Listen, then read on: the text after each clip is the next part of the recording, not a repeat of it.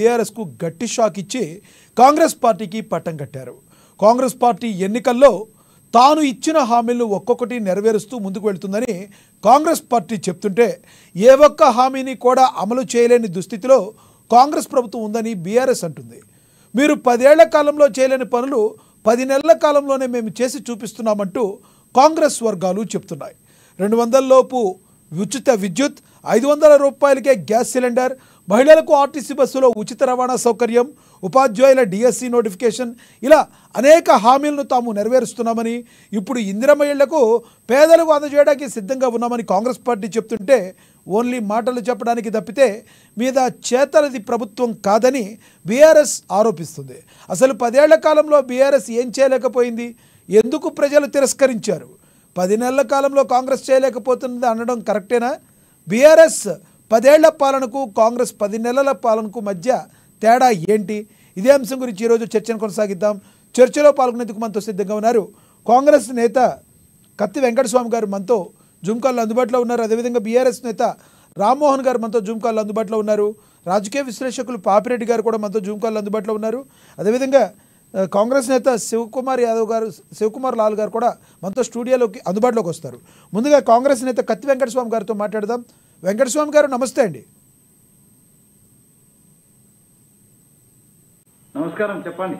వెంకటస్వామి గారు ఈరోజు ప్రభుత్వం కాంగ్రెస్ ప్రభుత్వం మరో నిర్ణయం తీసుకుంది. ఇందిరమ్మ ఇళ్ళ నిర్మాణా ఇందిరమ్మ ఇళ్ళు ఇవ్వడానికి సిద్ధమైంది ప్రభుత్వం.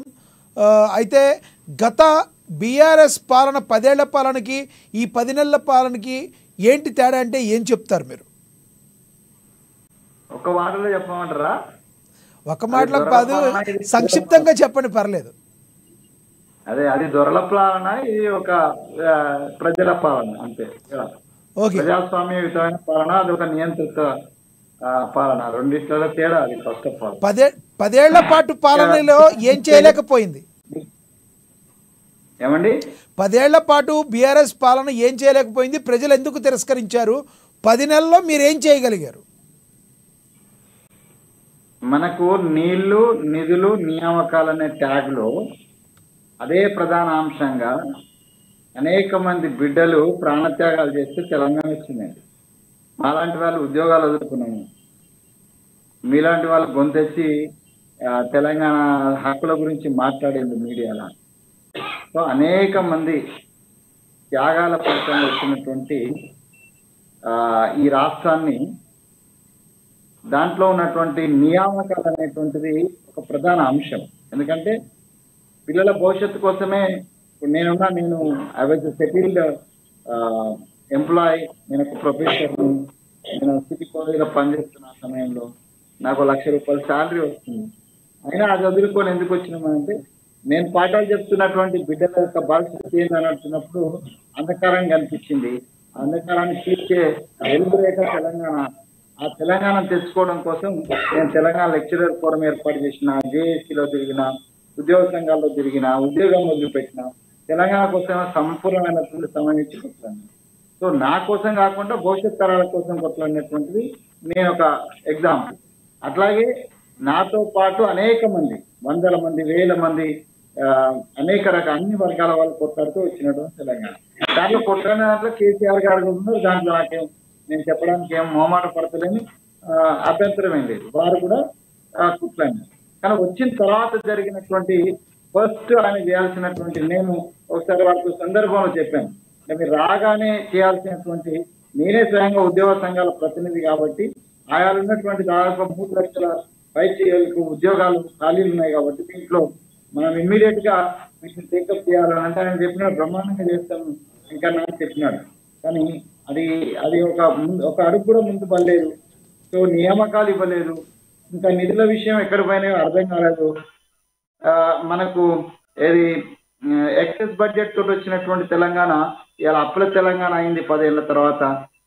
ఈ నీళ్ళకు సంబంధించి ఏం చేసిండో ఏమో ఆయనకు కాళేశ్వరం రూపంలో ఆ కుంగిపోయిన మేడిగడ్డ రూపంలో దాని యొక్క రిజల్ట్ కనిపించింది. కాబట్టి అన్ని రకాలుగా వారు చేయాలనే సదుద్దేశం ఉందో లేదో ఆయనకు తెలియదు ఉందనే నేను అనుకుంటున్నా.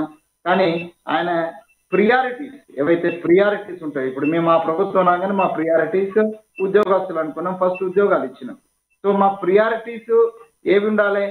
నీళ్ళు నిధులు నియామకాలు అన్నప్పుడు నియామకాల ప్రియారిటీస్ ఉండేది ఉంటే పదేళ్ళకు ఉద్యోగాలు ఇవ్వకపోవడం వల్ల ప్రమోషన్స్ ఇవ్వకపోవడం వల్ల దానివల్ల ఎంత నష్టం జరిగిందని అంటే ఒక జనరేషన్ జనరేషన్ ఎలికిపోయింది సో ఇవన్నీ కూడా ప్రజలు గమనించింది కాబట్టి ఆల్టర్నేట్ కావాలనుకున్నారు. మాకు అవకాశం ఇచ్చిండ్రు. మాకు అవకాశం ఇచ్చిన వెంటనే ప్రజల యొక్క ప్రియారిటీస్ని మా ప్రియారిటీస్గా తీసుకున్నాం. ధరల పాలన నియంత్రిత పాలనకు చమరగీతం పల్ పలకాలనుకున్నాం. వచ్చిన రోజు మేము డిమాండ్ డిప్లేట్ చేసినాం. ఆ- ఆ ప్రగతి భవన్ పేరుతోటి దొరరాజ్యం నడుస్తుంటే దాన్ని ప్రజాపాలన పేరుతోటి ప్రజా భవన్ పేరుతోటి మేము ఇమ్మీడియట్గా ప్రజలందరికీ ప్రవేశం కలిగే విధంగా చేసినాం. సో దట్ ఈస్ అంటే ప్రియారిటీస్ అనేటువంటిది ప్రజల ఆకాంక్షల మేరకు ఉండాలా? ఆ ఆకాంక్షల మేరకు మేము ఎలా పనిచేస్తున్నాం అనేది చాలా స్పష్టమండి.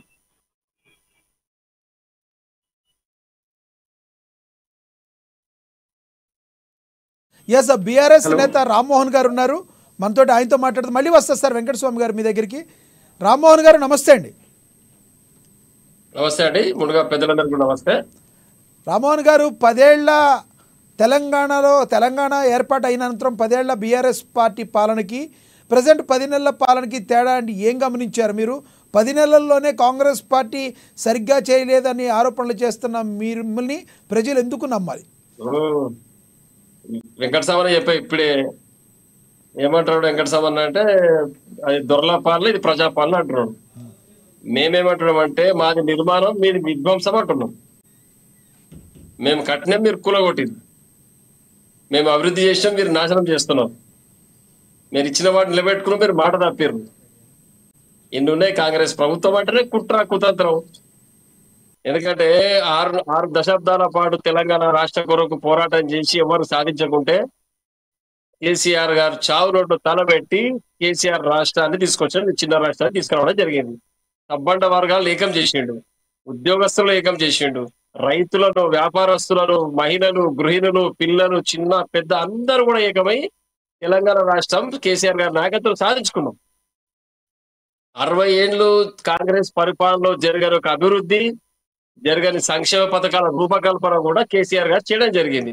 ఇది ఎవరు అవునన్నా కాదన్నా కనిపించే వాస్తవం ఇది.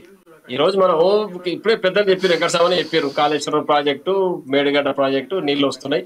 కొంతవరకు సక్సెస్ అయ్యారు మరి ఒక్క విషయం గుర్తుపెట్టుకో నీళ్ళు నిధులు నియామకాల పేరుపైన ఉద్యోగం నడిచిందో మొట్టమొదటిసారిగా రాష్ట్రానికి నీళ్ళు అందించగలిగితే పంట చేనులలో నీళ్ళు పారితే ఆటోమేటిక్గా ధనం వృద్ధి చెందుతుంది. మార్కెట్లో డబ్బులు వస్తే రైతు బాగుపడతాడు. మొత్తం తర్వాత ఆర్థిక వ్యవస్థతో గాడిన పడుతుంది. రైతాంగం బాగుంటాయని రైతుల కొరకు చెరువులు మిషన్ భగీరథ మిషన్ కాకతీయ పేరు మీద చెరువులను కుంటలో పూడిక తీపించి ప్రాజెక్టు నిర్మాణం చేసి కాలువలకు నీళ్ళు మళ్ళించి ఆ నీ కాలువల నుంచి రైతులు పొలాలకు మోటార్లు బోర్ల ద్వారా నీళ్ళు భూగర్భ జలాలు పెరిగినాయి. కాలువల ద్వారా నీరు వచ్చినాయి. రెండు ఉపయోగించుకొని ఈరోజు రైతులు లాభపడ్డాడు అది వాస్తవం. గడిచిన పదేళ్ళ లోపల రైతు యొక్క ఇన్కమ్ మెల్లిమెల్లిగా పెరుగుకుంటూ పైకి వచ్చింది తప్పితే ఎక్కడ కిందికి పోలేదు. రైతు బంధు రైతు సహాయం చేయడం జరిగింది రైతు బంధు ద్వారా. రైతు బీమా ద్వారా రైతుకు భద్రత కల్పించి రైతు కుటుంబాలకు భద్రత కల్పించడం. ఒక సుమారుగా లక్ష ఇరవై ఐదు వేల ఉద్యోగాలు ఇవ్వడం జరిగింది నియామకాలు కూడా చేపట్టడం జరిగింది. కేవలం టీచర్ పోస్టులు ఒకటే కావు కదండి మిగతా చాలా పోస్టులు అన్ని రంగాల్లో అన్ని శాఖలలో పోస్టులు ఇవ్వడం జరిగింది. మరి ఉద్యోగాలు ఇచ్చినట్టు కదా. ఈ రోజు కేవలం రేవంత్ రెడ్డి గారు టీఆర్ఎస్ పెట్టిన ఉద్యోగాలు సగం ఇచ్చి నేను యాభై వేలు ఉద్యోగాలు ఇచ్చిన చరిత్రలో ఎవరు వేయలే భారతదేశ చరిత్ర నేనే మనగానే చెప్తున్నాను రేవంత్ రెడ్డి. దీన్ని మేము పూర్తిగా ఖండిస్తున్నాం. పది సంవత్సరాల లోపల తెలంగాణ ప్రాంతంలో భూమి విలువ పెరిగింది రైతు యొక్క ఆదాయం పెరిగింది తెలంగాణ ఆత్మగౌరవం పెరిగింది తెలంగాణ సంస్కృతి పట్ల ప్రపంచ స్థాయిలో గౌరవం దక్కింది. మన యొక్క పోచంపల్లి చీరలకు గౌరవం దక్కింది ఇంటర్నేషనల్ మార్కెట్ వచ్చింది. ఇవన్నీ కూడా కేసీఆర్ గారు చేసినటువంటి సంక్షేమ పథకాల అమలు ప్లానింగ్ విజన్ తోటి జరిగినాయి. అంతకంటే వేరొకటి కాదు. గతంలో కాంగ్రెస్ ప్రభుత్వం సుదీర్ఘంగా చాలా మంది ముఖ్యమంత్రులు రాష్ట్రాలు ఉమ్మడి రాష్ట్రాలు పరిపాలన చేసినప్పుడు తెలంగాణ రైతాంగ పరిస్థితి ఎట్లున్నది అందరు కూడా తెలిసిన విషయమే. ఉద్యమంలో చాలా సార్లు మనం పాట పాడుకున్నాం. తెలంగాణ పరిస్థితి ఎట్లా ఉన్నదని కాబట్టి పల్లె పల్లెన పల్లెలు మోర్చే తెలంగాణ లోపడని చాలా మంది ఉద్యమ గాయకులు పెద్ద ఎత్తున గలమెత్తి నిలదీస్తే ఆత్మక్షోభతోటి మనం అందరూ కూడా తెలంగాణ ఉద్యమంలో దుంకి తెలంగాణ తీసుకొచ్చినాం. పది సంవత్సరాల్లో కూడా అద్భుతమైన ప్రగతి సాధించినాం. తెలంగాణ రాష్ట్రాన్ని అద్భుత నిర్మాణం చేసినాం. ఇంకొకటి ముఖ్య ముఖ్యంగా ఏంటంటే కేటీఆర్ గారి నాయకత్వంలో హైదరాబాద్ కూడా ఐటీ హబ్గా పేరు పొంది చాలా పెద్ద ఎత్తున పెట్టుబడులు వారు విదేశీ నుంచి తీసుకురావడం జరిగింది. హైదరాబాద్ యొక్క నగరం యొక్క రూపురేఖలు పూర్తిగా మారిపోయినాయి. మరి ఇవన్నీ మనం గమనించుకోవాలి. కేవలం రాజకీయ ఆరోపణలు చేస్తే రేవంత్ రెడ్డి గారిని పది సంవత్సరాలు పది నెలల లోపల నేను కేసీఆర్ చేయండి చేసిన అనేదో గుండె బాదుకుంటున్నాడు ఒకటే. మీరు ఏం చేసినట్టు ఏవైతే ఆరు గ్యారంటీలు అమలు చేస్తా అని చెప్పిరో చిత్తశుద్ధితోటి. అవి అమలు చేయమని చెప్తున్నాం. మేము కళ్యాణ లక్ష్మి పేరు మీద పేదింటి ఆడబిడ్డ ఈరోజు తాండాలలో చిన్న చిన్న గ్రామాలలో మహిళలు పురిటిలోనే అమ్ముకునే పరిస్థితి ఉన్నప్పుడు ఉన్నది అప్పుడు ఉమ్మడి రాష్ట్రంలో అప్పుడు. ఆడబిడ్డ పుడితే సంపుతూరు లేకపోతే పడేసురు కుప్పతోట్లు అని చాలా మన పత్రికలు చూడడం జరిగింది. ఆడపిల్లకు పెళ్ళికి ఇబ్బంది అవుతాయని వారికి లక్ష రూపాయలు కట్నంగా ఇస్తామని చెప్పేసి లక్ష రూపాయలు ఆడపిల్ల కట్నంగా వారు ఇవ్వడం జరిగింది. ఆడపిల్ల కట్నంగా. మరి రైతులకు ఎవరైతే వడ్డీ వ్యాపారుల దగ్గరికి వెళ్ళి పంట సాయం కొరకు విత్తనాలు నాటేటప్పుడు తీసుకొచ్చి ఒక వ్యవసాయదారులు అప్పుల పాలైతుర్రి వారు కూడా ఎకరాకి ఇంత సాయం చేయడం జరిగింది. తలాకు ఒక ఎకరానికి ప్రభుత్వం నుంచి సాయం చేసి వారంలో కొంత తీసుకొని ఈ రోజు గౌరవంగా పెట్టుబడిని సొంత జోబు నుంచి పెట్టుకున్నాడు పెట్టుకొని ఈ రోజు వ్యవసాయాన్ని పండగ మాదిరిగా చేసుకున్నారు. అంతకుముందుకు చంద్రబాబు నాయుడు మాట్లాడింది. తెలంగాణ మీ కరెంట్ ఏడు వ్యవసాయం ఎవరు చేస్తారా ఈ రోజు అని ఆ రోజు మాట్లాడే దాఖలాలు ఉమ్మడి రాష్ట్రంలో తెలంగాణ గురించి ఉన్నాయి. మరి ఇవన్నీ మనకు ఆత్మక్షోభ కాలేదని ఆ రోజు. ఇవన్నింటి కూడా అధిగమించి మెల్లిమెల్లిగా పథకాలు రూపొందించి చిన్న చిన్నగా చిన్న చిన్నగా తెలంగాణ యొక్క బడుగు బలహీన వర్గాలకు సబ్బడ వర్గాలకు కూడా ఈ సంక్షేమ పథకాలు అందే విధంగా కేసీఆర్ గారు ప్రయత్నం చేసి రాజకీయ కోణంలో చూసినట్టయితే కాంగ్రెస్ పార్టీ ఏదో మాట్లాడుతూ ఉద్యమకారులకు అవి ఇవ్వలేదు ఇవి లేదా ఆ యొక్క నాయకునికి పదవి దక్కలేదని రాజకీయ కోణంలో చూసినట్టు కూడా చాలా మంది ఉద్యమకారులకు పదవులు దక్కినాయి. కార్పొరేషన్ చైర్మన్లు సర్పంచులు ఎంపీటీసీలు కౌన్సిలర్లు చైర్మన్లు పెద్ద ఎత్తున కూడా కొంతమందికి అక్కడ ఉన్నటువంటి స్థానిక పరిస్థితుల దృష్ట్యా కావచ్చు లేకపోతే ఆ నాయకునికున్న ఇమేజ్ వల్ల కావచ్చు ఒకరిద్దరికి రాకపోవచ్చు. అంతేగాని దాంట్లోనే ఏదో కేసీఆర్ మోసం చేసిండు కేసీఆర్ కుటుంబ పాలన చేసిండు కేసీఆర్ అట్లా ఇవన్నీ ఆ రాజకీయ ఆరోపణలు మాత్రమే. ఒక్కటి గుర్తు గుర్తుపెట్టుకోండి మీరు. తెలంగాణ ఉమ్మడి రాష్ట్ర ఆంధ్రప్రదేశ్తో కలిసి ఉన్నప్పుడు మీ కాంగ్రెస్ పార్టీ నాయకులు ఎవ్వరు కూడా చేయలేని పని. మిగతా తెలంగాణ కొరకు ఉద్యమాలు చేసి చాలా మంది చేసిన ఎవ్వరు కూడా చివరి వరకు చేరుకొని సక్సెస్ అయిన దాఖలాలు ఎక్కడ కూడా లేవు. అందరూ కూడా నడి మధ్యలోనే కాడి వదిలేసింది మరి కేవలం కేసీఆర్ గారు ఒక్కరే సపోర్ట వర్గాలు ఏకం చేసి ఢిల్లీలో పెద్ద ఎత్తున లాబింగ్ చేసి కేసీఆర్ గారి రాష్ట్రాన్ని సాధించి వాస్తవమా కాదా మనం కాంగ్రెస్ పార్టీ ఆలోచన చేయాలి. ఇంత పెద్ద లక్ష్యాన్ని చేరుకున్న తర్వాత ఆగి చిన్న చిన్న ఏం మాట్లాడతామండి మనం? ఒక ఎకరాకు నీళ్ళు ఇవ్వలేదు నాకు రా నాకు ఉద్యోగం రాలేదు నాకు నా- నీ యొక్క ఎవరైతే నిరుద్యోగులు ఉన్నారో చాలా మందికి ఉద్యోగాలు దక్కినాయి. కొంతమందికి దక్కకపోవచ్చు. మళ్ళీ ప్రయత్నం చేయాలి మనం. అందరికీ ప్రభుత్వ ఉద్యోగాలు కావాలి. నాకు రాలేదు నాకు రేపు గుడ్డలు బాదుకునే బదులు నా పక్కన కోసం నేను సంతోషపడాలి కదా? ఇది కూడా ఉంది కదా మనకి. కాబట్టి ఈ యొక్క ఉద్యోగాన్ని ఇవ్వడం అనేది ప్రతి ప్రభుత్వం నిరంతరంగా జరిగే ప్రక్రియ. అందులో ఖాళీలను బట్టి అవకాశం బట్టి కాంట్రాక్ట్ బేస్గా లేకపోతే అవుట్ సోర్సింగ్ రెగ్యులర్ కోచింగ్ అనేది జరుగుతూ ఉంటుంది. వ్యవసాయ రంగ ఉత్పత్తి వ్యవసాయ రంగం అభివృద్ధి చెందితే మరి ఆటోమేటిక్గా ఉత్పత్తి రంగం పెరుగుతుంది. దాంతో పాటు ప్రైవేట్లో ఉద్యోగ కల్పన కూడా జరుగుతుంది కదా మరి. అది కూడా ప్రభుత్వం లక్ష్యమే కదా. ప్రభుత్వం చేసిన పని వల్లనే కదా జరిగింది. ఇంకోటి నిరంతరం ఇరవై నాలుగు గంటలు నాణ్యమైన కరెంట్ అందించి రైతులను ఆదుకున్న ప్రభుత్వం కేసీఆర్ ప్రభుత్వం. మరి ఇది ఇది వాస్తవం కదా అండి? దళితుల ఎంటర్ప్రినర్స్ వినండి దళిత వర్గాలకు నిమ్న వర్గాలకు కూడా పారిశ్రామిక రంగంలో మంచి భూమిక పోషించాలి వీరు కూడా అని చెప్పేసి దళిత ఎంటర్ప్రీనర్స్ ప్రోత్సహించి దళిత పారిశ్రామికవేత్తలను సహకరించి ప్రభుత్వం తరఫు వాళ్ళకి రుణాలు అందించి వాళ్ళని కూడా ముందుకు తీసుకుపోవడం జరిగింది. గిరిజన తాండాలను మారుమూల గ్రామాలకు నీటి వసతి కల్పించి నీటి ట్యాంకులు నిర్మించి వారు కూడా గ్రామ పంచాయతీలుగా ఏర్పాటు చేయడం జరిగింది. మరి ఇవన్నీ కేసీఆర్ గారు గొప్పతనం కాకపోతే ఏంటండి స్వతంత్రం సిద్ధించి డెబ్బై అరవై ఏళ్ళ వరకు కూడా ఇవన్నీ జరగలే కదా మరి? రైట్ రామ్మోహన్ గారు మళ్ళీ వస్తాం మీ దగ్గర ఎస్. ఎస్ ఎస్ రామ్మోహన్ గారు మళ్ళీ మనతో స్టూడియోలో కాంగ్రెస్ పార్టీ అధికార ప్రతినిధి డాక్టర్ శివకుమార్ లాల్ గారు ఉన్నారు. ఆయనతో మాట్లాడదాం. శివకుమార్ గారు నమస్తే అండి. నమస్తే అండి. శివకుమార్ గారు రామ్మోహన్ గారు మాట్లాడింది విన్నారు. పదేళ్ళ బీఆర్ఎస్ పాలనకు పది నెలల కాంగ్రెస్ పాలనకు మధ్య తేడా ఏం చెప్తారు మీరు? ముందుగా అమా న్యూస్ ప్రేక్షకులకు మీకు ప్యానల్ ఉన్న వారికి నమస్కారం అయితే ఒక ఒకటి ఏమంటే ఇప్పటివరకు మన రామ్మోహన్ భాయ్ చెప్పింది అయినా ఒక టీఆర్ఎస్ అభిమాని కాబట్టి ఖచ్చితంగా కేసీఆర్ మీద అదే దిశగా చెప్తాడు.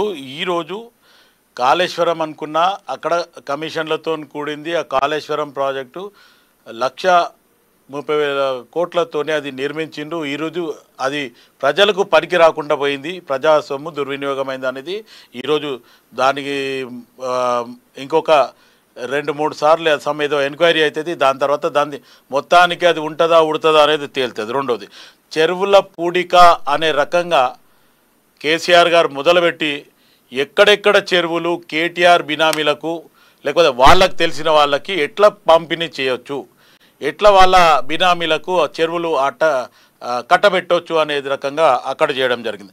ఫోన్ ట్యాపింగ్ విషయంలో అయితే మనం చూడడం జరిగింది. వినడం జరిగింది. ఇప్పుడు రేపు విత్ ఇన్ నో టైంలో ఆ ఇష్యూలలో ఏం జరుగుతుంది అనేది మనం చెప్పాల్సిన అవసరం లేదు. ఆ ఫోన్ ట్యాపింగ్ల వల్ల పర్సనల్గా ఒక మన ఒక వ్యక్తిది వ్యక్తిగత విషయాలు కూడా ఫోన్ ట్యాపింగ్ చేసి అది చేయడం జరిగింది. దాంట్లో మనం అది ఒకటి చూడడం జరిగింది. ఎవరిది? నాగార్జున కొడుకు వాళ్ళ కొడుకు కోడల విషయం ఏం జరిగింది? ఈరోజు వాళ్ళ పరిస్థితులు ఏందనేది మనకు తెలుసు. దళిత సీఎం అని చెప్పిండు. అక్కడ దగా చేసిండు. దళితులకు మూడెకరాల భూమి అన్నాడు. అది దగా చేయడం జరిగింది. తర్వాత రైతు బంధు అని ఏదైతే మొదలుపెట్టిండో ఆ రైతు బంధు మొదలుపెట్టే ఈ ధరణి అనేది ఒక వెబ్సైట్ తీసుకొచ్చి ఆ ధరణి వెబ్సైట్ ద్వారా మొత్తానికి ఈ ఎకరాలు ఎకరాలు ఎట్లా దోచుకోవాలనో అది ఈరోజు చేయడం జరిగింది. మొత్తానికి కేసీఆర్ పరిపాలనలో అటు యువకులు కానీ లేకపోతే విద్యార్థులు కానీ తర్వాత స్కూల్స్ కానీ అదే కాకుండా పోతే ఎంప్లాయీస్ కానీ వీళ్ళందరినీ కూడా చాలా అంటే చాలా ఇబ్బందికరంగా పది సంవత్సరాలు గడిచింది. కానీ ఈరోజు కాంగ్రెస్ పార్టీ అది మార్పు కావాలి కాంగ్రెస్ రావాలి అనే ఒక నిర్ణయం తీసుకున్న తర్వాత ప్రజలు వాళ్ళ ఆకాంక్షతో ఈరోజు కాంగ్రెస్ పార్టీని గెలిపించడం జరిగింది. ఈరోజు కాంగ్రెస్ పార్టీ గెలిచి ఒక సంవత్సరం జరిగింది. ఈ తొమ్మిది తారీఖు అంటే ఒకటో తారీఖు నుంచి తొమ్మిదో తారీఖు ఈ విజయోత్సవాలు చేయాలనేది కూడా ముఖ్యమంత్రి గారు కానీ మంత్రివర్గం కానీ ఒక నిర్ణయం తీసుకొని కాంగ్రెస్ పార్టీ అధికారంలోకి వచ్చి సంవత్సరం అనేది ఒక నిర్ణయం తీసుకొని ఈరోజు యాభై మూడు వేల ఉద్యోగాలు ఏదైతే సంవత్సర కాలంలో ఇవ్వడం జరిగింది దాంట్లో టీఆర్ఎస్ బీఆర్ఎస్ పది సంవత్సరాల లక్ష అంటున్నారు. రెండోది పోలీస్ జాబ్స్. ఇంకోటి గ్రూప్ వన్ ఎగ్జామ్ పెడతా పెడతా అని చెప్పి పది సంవత్సరాల ఎప్పుడు కూడా పెట్టలేదు. కాంగ్రెస్ పార్టీ వచ్చిన ఈ సంవత్సర కాలం లోపు గ్రూప్ వన్ ఎగ్జామ్ కూడా రాయడం జరిగింది. తర్వాత ఇరవై మూడు వేల కోట్ల రూపాయలు ఈరోజు రైతులకు రుణమాఫీ చేయడం జరిగింది. వాళ్ళు పది సంవత్సరాలల్లా వాళ్ళు చేసిన రుణమాఫీ ఏంది అనేది వాళ్ళే చెప్పుకోవాలి. ఎందుకంటే ఈరోజు కాంగ్రెస్ పార్టీ ప్రజలకు ఇచ్చిన ఒక ఆరు గ్యారంటీలల్ల మట్టుకు ఈరోజు రెండు వందల యూనిట్ల కరెంట్ ఒకటి తర్వాత ఫ్రీ బస్ ఒకటి మూడోది ఐదు వందలకే గ్యాస్ అనేది మటుకు ఈరోజు ప్రజలలో చలామణి అయిపోయింది. ఇంకొక రెండు మూడు గ్యారంటీలు. ఆర్ ఇంకోటి ఏమంటే ఎవరు కూడా మాకు మీ నిర్ణీత కాలంలో చేయాలని చెప్పి చెప్పలేదు. కాంగ్రెస్ పార్టీ వంద రోజుల్లో చేద్దాం అనేది ఒక నిర్ణయం తీసుకొని మేనిఫెస్టోలో పెట్టడం జరిగింది. ఎలక్షన్ ముందు చెప్పడం జరిగింది. కానీ ఏదైతే గత ప్రభుత్వం పది సంవత్సరాలు ఏలిన ప్రభుత్వం TRS BRS KCR and family మొత్తానికి ప్రతి మంత్రిత్వ శాఖల దోసుకోవడం జరిగింది. ఖజానా మొత్తం ఖాళీ. ఏ మంత్రిత్వ శాఖల రివ్యూ మీటింగ్ పెట్టినా ప్రతిది కూడా జీరో. ప్రధానంగా ఇంకొక ఆరోపణ ఏంటంటే మీరు అధికారంలోకి రావడానికి మరి పరిస్థితులు రాష్ట్ర పరిస్థితుల్ని ఎలా అనేది దృష్టిలో పెట్టుకోకుండా ఏ రకంగా వాగ్దానాలు ఇస్తారు మీరు? గతంలో డిఆర్ఎస్ బీఆర్ఎస్ సరిగ్గా చేయలేదని మీ ప్రధాన ఆరోపణ అప్పుల పాలు చేసిందని మీ ప్రధాన ఆరోపణ. ఎంత అప్పుల పాలైన రాష్ట్రానికి మనం ఇచ్చిన హామీలను నెరవేర్చే టైంలో మనకి ఇబ్బంది కలుగుద్దని మరి ప్రధానంగా కాంగ్రెస్ పార్టీ ఆ రోజున ఎందుకు ఆలోచించలేకపోయింది? అది అడుగుతుంది బీఆర్ఎస్ పార్టీ. అది అడుగుతున్నారు రాజకీయ విశ్లేషకులు. అది అడుగుతున్నారు ప్రజలు. అయితే లక్ష్మీనాథ్ గారు ఇప్పుడు ఇప్పుడున్న పరిస్థితుల్లో కాంగ్రెస్ పార్టీ ఐదు సంవత్సరాలు ఖచ్చితంగా ఉంటుంది. ఆ నిర్ణీత కాలం కాంగ్రెస్ పార్టీ వంద రోజులలో చేస్తా అని చెప్పింది. అధికారంలోకి వచ్చిన తర్వాత చూస్తే మొత్తానికి ఖజానా ఖాళీ ఉంది అని చెప్పి అన్ని మంత్రిత్వ శాఖల మీరు ఏ మంత్రిత్వ శాఖ తీసుకున్నా ఆ మంత్రిత్వ శాఖలో మొత్తానికి టీఆర్ఎస్ బీఆర్ఎస్ మంత్రులు కానీ లేకపోతే టీఆర్ఎస్ బీఆర్ఎస్ ఎవరైతే అధినేత ఫ్యామిలీస్ కానీ వాళ్ళంతా ఈరోజు అభివృద్ధి చెందింది అభివృద్ధి చెందింది అంటే మొత్తానికి టూ థౌజండ్ ఫోర్టీన్లో వీళ్ళ అఫిడవిట్లు ఒకసారి చూడండి. టూ థౌజండ్ ట్వంటీ త్రీలో వీళ్ళ అఫిడవిట్ ఒకసారి చూడండి. మొత్తానికి ఏదైతే టీఆర్ఎస్ టీఆర్ఎస్ ఎమ్మెల్యేలు ఎంపీలు లేదంటే ఒక కార్పొరేటర్ స్థాయి నుంచి వీళ్ళు ఒక కొత్త ఒరవడి తీసుకొచ్చిండ్రు. ఏంటంటే వీళ్ళందరికీ ఒక ఫామ్ హౌస్లో కల్చర్ తీసుకొచ్చిండ్రు. ఈరోజు ప్రతి ఒక్కరికి కూడా ఫామ్ హౌస్ ఆ ఫామ్ హౌస్ ఏ ఎక్కడుంది? ఎవరిదో దళితులదో లేకపోతే ఇంకొకరిదో ఏదైతే ధరణి పెట్టి ఆ ధరణి వెబ్సైట్ ద్వారా దోచుకునేదే తప్ప వీళ్ళు స్వయాన Right. కష్టపడి కొన్నది కాదు. రైట్ రైట్ మనతోటి రాజకీయ విశ్లేషకులు పాపిరెడ్డి గారు ఉన్నారు. పాపిరెడ్డి గారితో మాట్లాడదాం. పాపిరెడ్డి గారు నమస్తే అండి.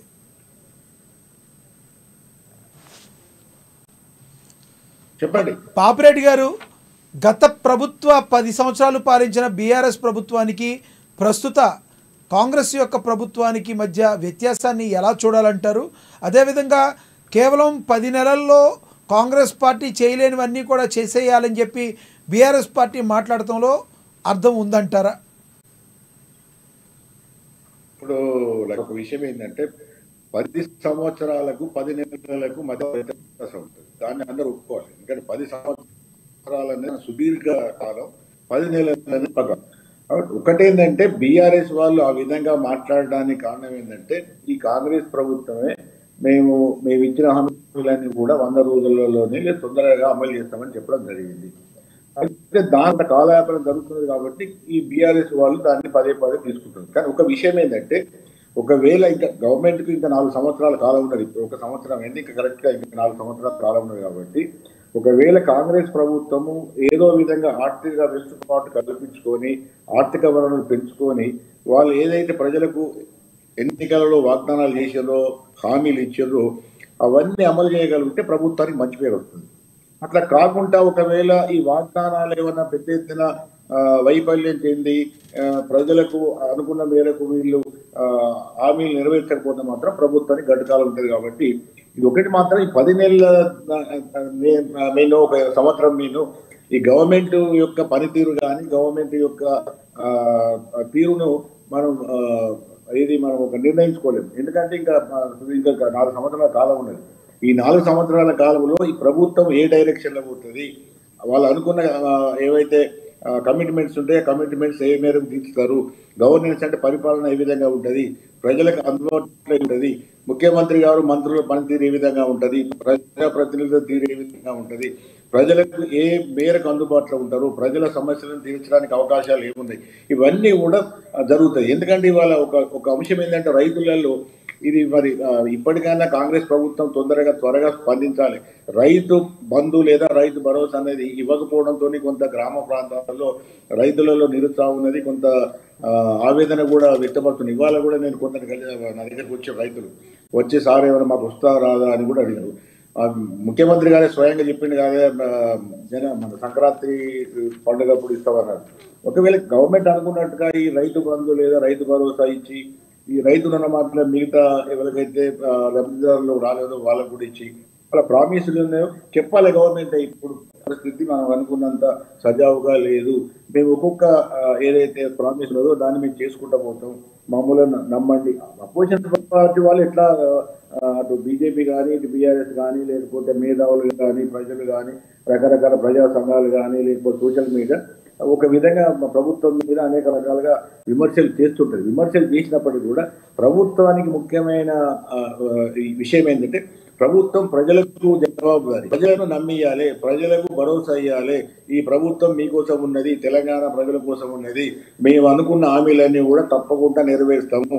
మీరు ఎటువంటి నమ్మకంతో కానీ ఆత్మ కానీ ఉండకూడదు అని ఆ భరోసా ప్రభు ముఖ్యంగా ముఖ్యమంత్రి గారు ఈ తెలంగాణ ప్రభుత్వం తెలంగాణ ప్రజలకు భరోసా ఇవ్వాల్సి ఉంటుంది. పాపిరెడ్డి గారు పాపిరెడ్డి గారు ఇప్పుడు ఏదైతే తెలంగాణ ప్రభుత్వం ఈ రోజున ఇందిరమ్మ ఇళ్ళ ఆ, ను ఇవ్వడానికి ప్రజలకు ఇవ్వడానికి పేద ప్రజలకు ఇవ్వడానికి సిద్ధమైందో దీని ద్వారా మరింత ప్రజలకు దగ్గరయ్యే అవకాశం ఉందంటారా? ఇప్పుడు కొన్ని చేసేది అసలే చే ఇప్పుడు ఇప్పుడు రెండు రెండు విషయాలు వచ్చాయండి. ఇప్పుడు మీ అటు ఒకవైపు కాంగ్రెస్ వాళ్ళు మాట్లాడారు ఒక వైఆర్ఎస్ వాళ్ళు మాట్లాడారు. ఎవరు వాళ్ళు చెప్పుకున్నారు? బీఆర్ఎస్లో చేసిన పరిపాలన మాకు ఇది చేసిన రామ్మోహన్ గారు చెప్పుకున్నారు. అట్లాగే శివలాల్ యాదవ్ గారు కానీ మీద వెంకటస్వామి గారు కానీ కాంగ్రెస్ పరిపాలన గారు అంటే కొన్ని ఇంట్లో వాస్తవాలు ఉన్నాయి. కొన్ని చేశారు కొన్ని చేయలేదు. అంటే విజయాలు ఉన్నాయి వైఫల్యాలు వైఫల్యాలు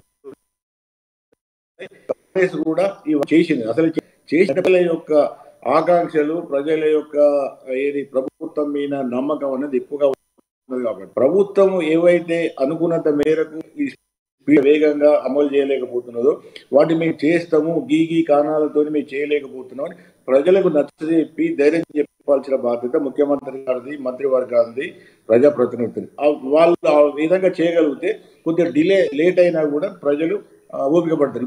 ఉదాహరణకు మీకు ఆసరా పెన్షన్ లేదా ఇంకొక పేరు మీద మేము రెండు వేల నుంచి నాలుగు వేలు చేస్తామని అన్నారు. ఇప్పటికి కూడా ఊళ్ళో ఏమనుకుంటున్నారంటే ఏదో లెక్కలు అవుతున్నాయట లెక్కలైన తర్వాత ఇస్తారట. అంటే ప్రజలకి ఇక నమ్మకం పోలేదు. ఆ నమ్మకాన్ని పోటగొట్టుకోకుండా ఏవైతే వాగ్దానాలు చేసినారో ఆ వాగ్దానాలన్నీ కూడా ఒకసారి అన్ని కావు. ఏది ఇప్పుడు ఈవెన్ పదిహేను కూడా బీఆర్ఎస్ గవర్నమెంట్ అన్ని ఒకసారి ఏం చేయలేదు. ఓటెన్ కోటి ఓటెన్ కోటి చేసుకుంటే మీద కాబట్టి. ఇప్పుడు కాంగ్రెస్ ప్రభుత్వం ఖచ్చితమైన ఒక ప్రణాళిక ఒక ఖచ్చితమైన ఒక ఒక దాంతో పోయి ముందుకు పోతే బాగానే ఉంటుంది. అట్లా కాకుండా ఒకవేళ ఈ విషయంలో కొంత వైఫల్యం చెంది ప్రజలకు సరి అయిన లెవెల్లో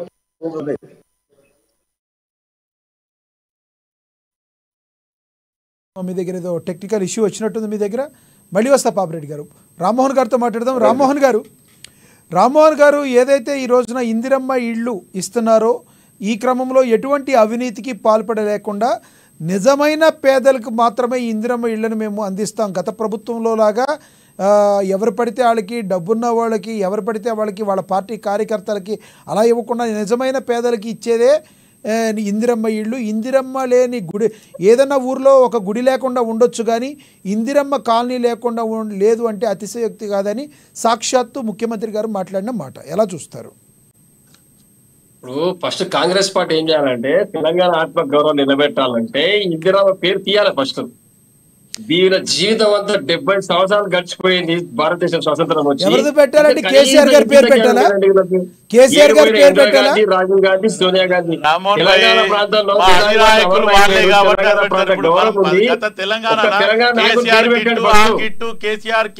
మాట్లాడుతున్నారండి మీరు ఇది. రుణాలు గంటలు ఇందిరాగాంధీ రాజీవ్ గాంధీ సోనియా గాంధీ ఎవరు లేరు ఆ కాంగ్రెస్ పార్టీలో పివి గారు పేరు పెట్టండి అది వదిలిపెట్టి ఇందిరామిలో మొత్తం డైవర్షన్ పాలిటిక్స్ మీరు చెప్పిన ఆరు గ్యారెంటీ అమలు చేసే శక్తి లేక మళ్ళీ ఇందిరా ఇళ్ళ పేరు తీసుకొచ్చిర్రు. ఎందుకు ఇప్పుడు లోకల్ బాడీస్ ఎలక్షన్స్ వస్తున్నాయి? ఇందులో ఓట్లు వేసుకోవాలి. మళ్ళీ సర్పంచులు ఎప్పుడు గెలిచిన తర్వాత తెలంగాణ రాష్ట్రాన్ని మొత్తం పక్క రాష్ట్రానికి అమ్మేసుకోవాలనే కుట్ర బుద్ధితోన రేవంత్ రెడ్డి పనిచేస్తున్నాడు. కనీసం ఇంగిత జ్ఞానం ఏమైనా నీకుంటే రేవంత్ రెడ్డి ఇమ్మీడియట్గా కాంగ్రెస్ పార్టీ మంత్రివర్గంతో మీటింగ్ పెట్టి ఈ ఆరు గ్యారంటీలు పూర్తి చేయడానికి ఎన్ని వనరులు అవసరం వస్తాయి ఇంత గడిచిన పదేళ్ళ చిత్రం పదేళ్ళ పాలనని ఒక శ్వేతపత్రం విడుదల చేయి గణాంకాల ప్రకారం నువ్వే అధికారి ముఖ్యమంత్రి మీరే కాబట్టి ప్రభుత్వంలో గణాంకాల ప్రకారం ఎన్ని ఉద్యోగాలు ఇచ్చారు ఎన్ని ఖర్చు పెట్టిరు ఒక శ్వేతపత్రం విడుదల చేసి ప్రజల ముందు పెట్టండి మీరు ఊరు ఊరు తిరుగుతున్నారు కదా ప్రజాపక్షం పండుగ తీస్తారు చేస్తున్నారు రామ్మోహన్ గారు. రామ్మోహన్ గారు ఒక ప్రశ్న. ఎస్ రామ్మోహన్ గారు గత మీ ప్రభుత్వంలో ఎన్ని శ్వేతపత్రాలు విడుదల చేశారు? ఎంతమందితో ఏ మీరు అన్ని రాజకీయ పార్టీల్ని కలిపి ఎన్ని మీటింగులు పెట్టారు మీరు? మీరు ఎప్పుడన్నా శ్వేతపత్రాలు విడుదల చేశారా? రాష్ట్రానికి సాధించడమే పెద్ద శ్వేతపత్రం అండి. ఒకటి గుర్తుపెట్టుకోండి. రాజశేఖర రెడ్డి గారు కిరణ్ కుమార్ రెడ్డి గారు కాంగ్రెస్ ప్రభుత్వం చేసిన కుట్రలు కుతంత్రాల్లో ఆగమైపోయి రాష్ట్రం సర్వనాశనం అయిపోయింది తెలంగాణ ప్రాంతం. ఆ వాటి నుంచి విముక్తి కల్పించి అదే పెద్ద శ్వేతపత్రం అదే గొప్ప విజయం. ఇప్పుడు మనిషికి ఉరి ఉరేసుకొని ఉరికోయలు ఊరాడుతుంటే ఆ ఉరికోయ నుంచి దించి ప్రాణం కాపాడితే నాకేం చేసినావు? ఏ పెద్దగా చేసినావు? పైట కుట్టించినావా? అంగి కుట్టించినావా? అంటే ఇక అంతకంటే పరిపాలన చేసిన తిరస్కరించారు? ఒక్క మాట వినండి. తెలంగాణ యావత్తు తెలంగాణ అంపశయ్య మీద ఉంటే అంపశయ్య మీద దించి ప్రాణ ప్రాణం పోసిన వ్యక్తి కేసీఆర్ గారు. ఇలా మమ్మల్ని విమర్శ ఎవరు కూడా తిరస్కరించలేదు. ఒక్కటి గుర్తుపెట్టుకోవాలి మనం తెలంగాణ ప్రాంతంలో ఉన్నటువంటి నాయకులు ప్రజలందరూ కూడా ఈ యొక్క కాంగ్రెస్ చెప్పిన మాటలు కళ్ళబొల్లి మాటలతో మోసపోయి చిన్న ఎమరుపాటుతోటి కాంగ్రెస్ పార్టీ ఓటేసిన అంతే తప్పితే కేసీఆర్ ఎక్కడ తిరస్కరించబడలేదు. ఎంత అంటే వాళ్ళకి వచ్చిన ఓటు శాతం ఎంత? కేవలం one point zero two percent తేడాతో మేము ఓడిపోయినాం ఈరోజు. ఈరోజు తిరస్కరిస్తే ఫిఫ్టీ పర్సెంట్ ఓకే రామ్మోహన్ గారు ఇప్పుడు ఎవరి పార్టీకి సంబంధించి ఇప్పుడు ఎవరి పార్టీకి సంబంధించి వాళ్ళు పేర్లు పెట్టుకుంటారు. ఇందిరమ్మ పేరు తీసేయాలి రాజీవ్ గాంధీ పేరు తీసేయాలని చెప్పడానికి మనం ఎవరు చెప్పండి? ఇంకొకటి కేసీఆర్ కిట్ అని పెట్టారు మీరు. కేసీఆర్ ఒకటి ఒక మాట మాట్లాడినోడి కేసీఆర్ కిట్ అని పెట్టారు. కేసీఆర్ కిట్ తీసేసి శ్రీకాంతాచారి కిట్ అని మీరు ఎందుకు పెట్టలేదు? ఆత్మ బలిదానం చేసుకున్నారు కదా తెలంగాణ కోసం. మీరు ఎందుకు పెట్టలేదు? ఎప్పుడైనా చెప్తా, పెట్టారా. శ్రీకాంతాచారి మీకు గుర్తున్నాడా? ఆత్మ ఒక్క- బలిదానం ఒక్కటి చేసుకున్న. ఎంతో మంది ఎంతో మంది మీకు గుర్తున్నారా? ఎవరికి ఇచ్చారు మీరు? పన్నెండు వందల మంది అమరవీరులని ఈ రోజు బలిదానం చేయడానికి టిఆర్ఎస్ బిఆర్ఎస్ పూనుకుంది. ఈ రోజు హరీష్ ఈ రోజు రావుకి తెలంగాణ ఇప్పటి వరకు ప్రాంతంలో కూడా దొరకడం లేదు విగ్రహం తెలంగాణ ప్రాంతంలో తార గ్రామంలో ఉంది. చాలా చాలా గ్రామాల్లో శ్రీకాంత్ విగ్రహం. నిన్ననే జయంతి. గుర్తుపెట్టుకోండి మీరు. కేసీఆర్ గారు కిట్ అని పేరు పెట్టేంత మాత్రాన అన్ని పథకాలు గారు వారి పేరే పెట్టలే కదండి. తెలంగాణ రాష్ట్రాన్ని సాధించిన మహోన్నత వ్యక్తి కేసీఆర్ గారు. అంటే ఇందిరాగాంధీ ఇందిరాగాంధీ రాజీవ్ గాంధీ వాళ్ళు ఏం చేయలేదా? మీరే మాట్లాడాలి గట్టిగా. ఇందిరాగాంధీ. ఉద్యమం ఇందిరాగాంధీ ఏం చేయలేదా? ఈ రోజు ఇందిరాగాంధీ. ఈ రోజు ఇందిరాగాంధీ కానీ ఎట్లా కాంగ్రెస్? లేకపోతే? కేసీఆర్ లేడు. రామ్మోహన్ భాయ్. ఈ రోజు కేసీఆర్ ఎక్కడికైనా వచ్చిండు? కాంగ్రెస్ పార్టీలకేనే కదా? ఈ రోజు కాంగ్రెస్ పార్టీ తెల తెలంగాణ ఇచ్చింది కూడా కాంగ్రెస్ పార్టీ కదా. ఈ రోజు ఇదే స్వయాన కేసీఆర్ చెప్పిండు కదా అసెంబ్లీలో. కేసీఆర్ గారు నాయకత్వంలోకి వచ్చిన తర్వాత ఒక నాయకునిగా తయారు కావాలనుకున్నప్పుడు అక్కడ పరిస్థితులు బట్టి ఉన్న పార్టీ కాంగ్రెస్ పార్టీ. అందులో పనిచేయొచ్చు అంత మాత్రాన కాంగ్రెస్ పార్టీ సిద్ధాంతం నచ్చకలుగా బయటకు వచ్చింది వాళ్ళు. కాంగ్రెస్ పార్టీ సిద్ధాంతం నచ్చకపోతే మళ్ళీ పొత్తెందుకు పట్టుకుండు రామ్మోహన్ భాయ్? తెలంగాణ టిఆర్ఎస్ పెట్టినప్పుడు పార్టీ. ఈ రోజు కేసీఆర్ స్థాయికి. రావడానికి కాంగ్రెస్ పార్టీ లిఫ్ట్ చేస్తేనే ఈ రోజు తెలంగాణ రాష్ట్ర సమితి కూడా లిఫ్ట్ అయింది ఈ రోజు మొత్తానికి కాంగ్రెస్ పార్టీ కాంగ్రెస్ కదా ఇప్పుడు అప్పట్లో పొత్తు పెట్టుకుంది కాంగ్రెస్ చేసింది? టూ థౌజండ్ ఫోర్ లా టీపీఎస్ ఎవరు నాశనం చేసింది టీపీఎస్ నాశనం చేసి మర్రిచంద్రారెడ్డి గారిని మల్లికార్జున గారిని శ్రీధర్ రెడ్డి గారిని అందరినీ కాంగ్రెస్ పార్టీ కాలకానికి తీసుకొచ్చుకొని తెలంగాణ ఉద్యమాన్ని సర్వనాశనం చేసి ఇందిరాగాంధీ గారు కదా? రామోహన్ భాయ్ ఆ టైంలో వాళ్ళు కూడా పది వివాహం కి బెండ్ అయినరు. ఒకటి గుర్తుపెట్టుకోండి. అది ఎవరన్నా. ఇవ్వలేదు? పదవి వ్యామోహం గురించి వాళ్ళు బెండ్ అయినరు మొత్తానికి ఉద్యమ కాలంలో చాలా మంది అయినరు. ఆ రకంగా రామ్మోహన్ భాయ్ ఆ కాలం ఈ రోజు నరేంద్రాని కూడా లేకపోతే ఆమె విజయశాంతిని కూడా కేసీఆర్ మొత్తానికి తొక్కేలేదా? ఈరోజు వాళ్ళ పార్టీ విలీనం చేసుకొని వాళ్ళని కనుమరుగు చేయలేదా? ఈరోజు నరేంద్ర అయితే ఖాళీ కేసీఆర్ చేసిన ద్రోహంకే ఆయన చనిపోవడం జరిగింది. ఈరోజు అట్లా అనుకుంటే కేసీఆర్ కంటే ముందు కూడా తెలంగాణ గురించి పోరాడిన చాలామంది ఉన్నారు వాళ్ళని మనోడు కూడా మ్యాక్సిమంగా వాళ్ళని తొక్కేసిండు. ఈరోజు నరేంద్ర టైగర్ నరేంద్ర ఎవరైతే బీజేపీకి ఉండేనో ఆయన బీజేపీ శివన తెలంగాణ ఉద్యమంలో అందరినీ కూడా కలుసుకొని పోవడం జరిగింది. తబ్బడ్డ వర్గాలు తెలంగాణ ఉద్యమంలో పనిచేసినాయి. విద్యార్థులు రైతులు నాయకులు కార్మికులు కర్షకులు మహిళలు పిల్లలు అందరూ కూడా పనిచేసింది తెలంగాణ ఉద్యమంలో కూడా. ఎవరిని చూసి? కేసీఆర్ గారి నాయకత్వ పటిమను చూసి వారి మొండితనాన్ని చూసి ఈయన స్థాపిస్తున్న నమ్మకంతో. ఎప్పుడైతే నిమ్మరసం తీసుకుండో కేసీఆర్ ఆడికే కథమైండు. దాని తర్వాత ప్రొఫెసర్ జయశంకర్ గారు మందకృష్ణ మాదయ్య గారు అక్కడ ఉండి యువకులకు చెప్పడం జరిగింది. జేఎస్ ఏది ఓయూ జేఏసీ ఎవరైతే పిల్లలు ఉండేనో లేకపోతే జేఏసీ ఏదైతే ఉండేనో దానికంతా లేలేలే ఆయన నిమ్మరసం తాగలేదు. ఇంకా ఉద్యమం చేస్తూనే ఉన్నాడు నిరాహార దీక్ష చేస్తూనే ఉన్నాడు అని చెప్పి మళ్ళీ ఉద్యమంని ఉవ్వెత్తు లేపింది. ఈరోజు ఓయూ జేఏసీ లేకపోతే ఈ కోదండరామ్ ఉన్న జేఏసీ తప్ప కేసీఆర్ ఆ టైంలో హాస్పిటల్లో పడి నిమ్స్లో ఉన్నది కూడా. ఇదంతా ఎవరిని చూసేసిరనా కాంగ్రెస్ పార్టీని చూసేసిరా తెల- ఈ ఉద్యమం మొత్తం కేసీఆర్ గారు చూసాక చేసింది. ఆ రోజు కాంగ్రెస్ పార్టీ దేశంలో లేదు. తెలంగాణ వ్యతిరేకంగా ఆ రోజు కాంగ్రెస్ పార్టీ. రైట్. గారు. రైట్ రామ్మోహన్ గారు. Right Shivlal garu yes. Yes right Rammohan గారు రైట్. శివలాల్ గారు కంక్లూడ్ చేయండి. పాపిరెడ్డి గారు కంక్లూడ్ చేయండి ప్లీజ్ ఇప్పుడు రామ్మోహన్ గారు శివలాల్ గారు ఒక విషయం చెప్తాను. తెలంగాణ ఉద్యమ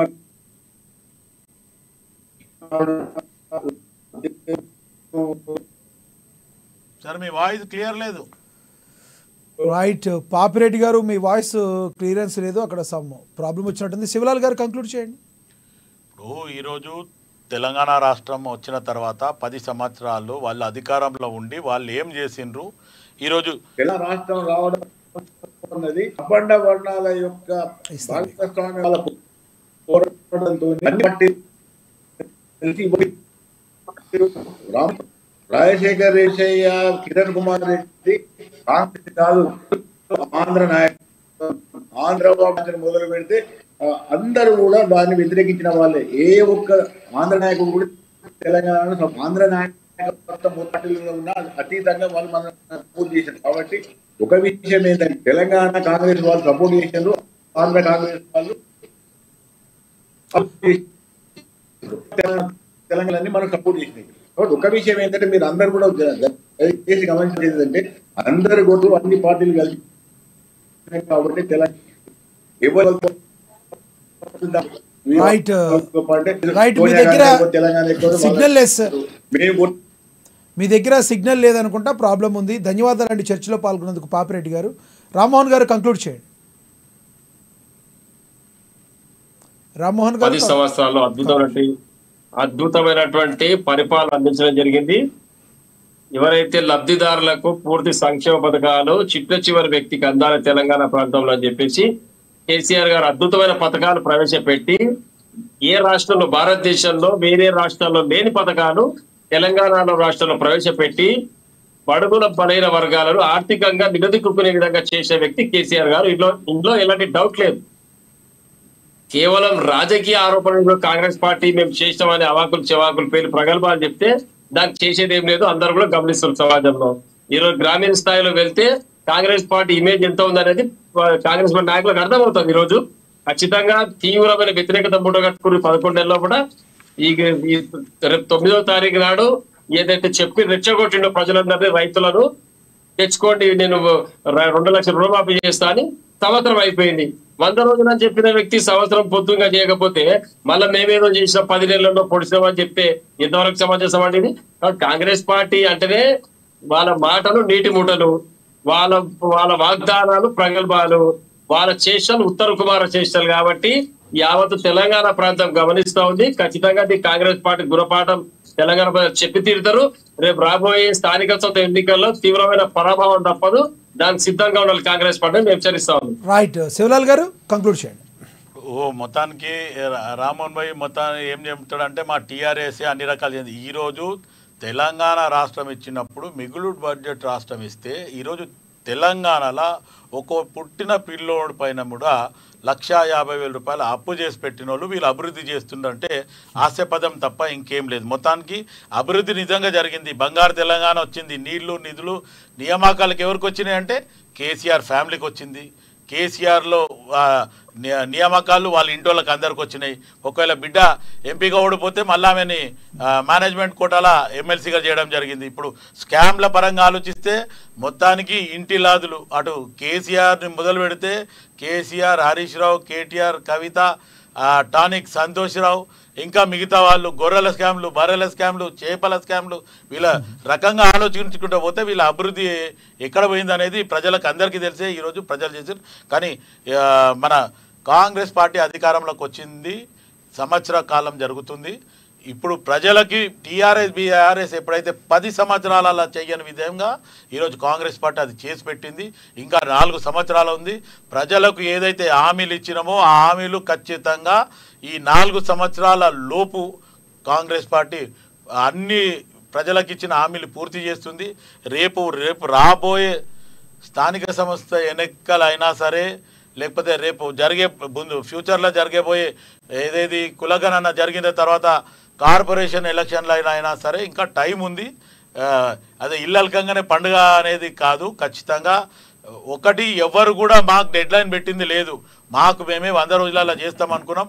కానీ అక్కడ వచ్చిన తర్వాత ప్రభుత్వం ఏర్పడిన తర్వాత టీఆర్ఎస్ బీఆర్ఎస్ ఏదైతే మొత్తానికి ఖజానా ఖాళీ చేసిన దాని విధంగానే కొంచెం లేట్ అయింది అనేది ముఖ్యమంత్రి గారు కూడా చెప్పడం జరిగింది. నేను కూడా చాలా డిబేట్లలో చెప్పడం జరిగింది. ఇప్పుడు ఒకటి ఏంటంటే ప్రజలకు ఇచ్చిన హామీల మటుకు కాంగ్రెస్ పార్టీ ఖచ్చితంగా పూర్తి చేస్తుంది.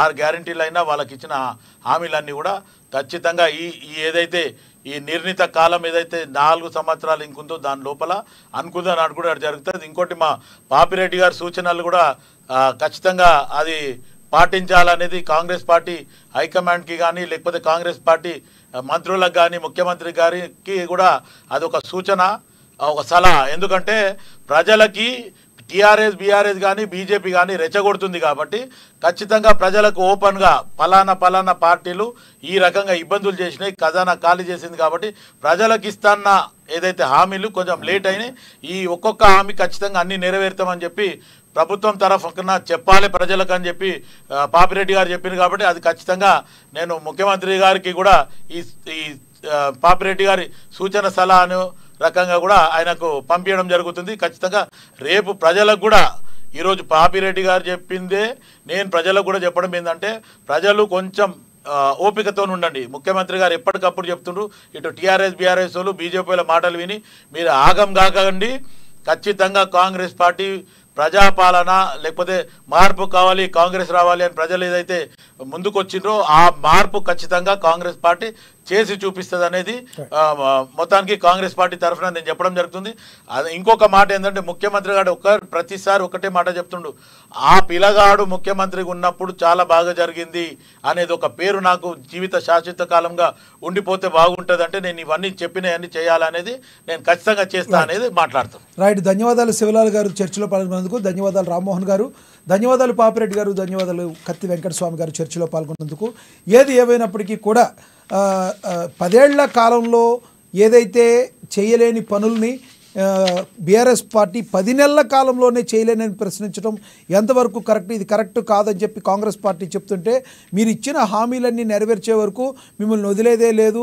పదేళ్ళు మీ మీరు ఇది చేతకాని ప్రభుత్వం అని చెప్తున్న బీఆర్ఎస్ ప్రభుత్వం ఎందుకు మీరు మిమ్మల్ని ప్రజలు తిరస్కరించారో తెలుసుకోవాలని చెప్పి కాంగ్రెస్ పార్టీ చెప్తున్నమాట. మరి రానున్న రోజుల్లో మేము ప్రజల వద్దకు ప్రజలకు సేవ చేయడానికి మేము కట్టుబడి ఉన్నామని చెప్పడానికి కాంగ్రెస్ పార్టీ నిదర్శనంగా ఇప్పుడు మేము ఇందిరమ్మ ఇళ్ళను కూడా పేదలకు ఇవ్వడానికి సిద్ధంగా ఉన్నామని చెప్తూ ముందుకు వస్తుంది గత బీఆర్ఎస్ ప్రభుత్వం చేసినట్టు డబుల్ బెడ్రూమ్ ఇళ్ళలో అవకతవకలు జరిగినట్టుగా కాకుండా నిజమైన పేదలకు నిజమైన లబ్ధిదారులకు ఇందిరమ్మ ఇల్లు ఇచ్చి కాంగ్రెస్ పార్టీ ప్రజాప్రభుత్వం అని చెప్పి మరొకసారి మరొకసారి నిరూపించుకుంటుందని చెప్పి కాంగ్రెస్ ప్రభుత్వం చెప్తున్నమాట. మరి చూడాలి మరి రానున్న రోజుల్లో ఏం జరగబోతుందో అని. ఇది వాటి స్పెషల్ డిబేట్. చూస్తూనే ఉండండి. ఏనన్